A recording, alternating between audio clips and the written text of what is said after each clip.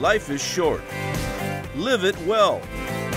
Dream, explore, travel.